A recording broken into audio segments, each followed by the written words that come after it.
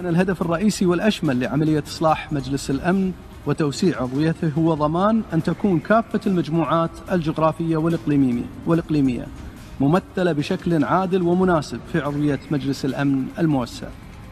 وفي هذا السياق أود التأكيد على أن المجموعة العربية تستحق في ضوء خصوصيتها السياسية والثقافية والتراثية. الحصول كمجموعة قائمة بذاتها على تمثيل في مجلس الأمن الموسع. وأود في هذا الصدد الإشارة إلى أن المجموعة العربية تمثل نحو 350 مليون شخص وتضم في عضويتها 22 دولة بما يمثل قرابة 12% من العضوية العامة للأمم المتحدة.